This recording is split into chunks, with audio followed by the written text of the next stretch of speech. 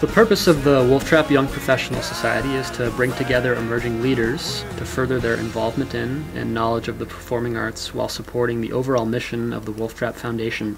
Well, um, I, along with my co-chair Yaktan Hodge, we decided to uh, pursue this because we wanted to get young professionals more involved with Wolf Trap. Uh, not only for networking, but also for raising money for the Wolf Trap Education Fund. Uh, and just kind of getting younger vibe to Wolf Trap. We host um, happy hours, um, get-togethers prior to performances, which are fully catered, and food and drink, and they're a blast. And from there, we usually head over to a show, whether it be on the lawn at the Filene Center or um, inside in the intimate experience of the barns and uh, we just are, you know, we get together to, to enjoy art. I've been a member of the Young Professional Society for just under a year. My favorite event was probably the Steve Miller Band concert. We had some friends come in from out of town that we knew from college, and uh, it was a great event, a great concert, a good pre-event that we had here with the society, and uh, it's probably the most memorable one so far. All Wolf Trap Young Professional Society activities and proceeds work towards the common effort of supporting the Wolf Trap Foundation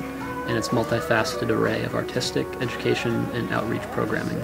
I'd say the ultimate goal is to really try to get to flourish and burgeon up to a group of. I think at this point we have, uh, you know, a couple, a couple hundred people who are interested and, and subscribe to our emails. Um, and I think on average probably have about 50 to 60 folks who actually come out to our events. The Wolf Trap is such a unique organization. Uh, there's such a diverse spectrum of, of, events and concerts and shows to, to attend.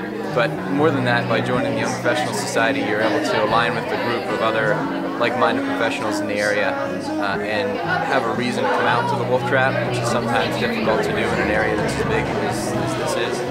Uh, to, to, come out, meet with a, a, group of people, expand your network, and see some great performances and experiences.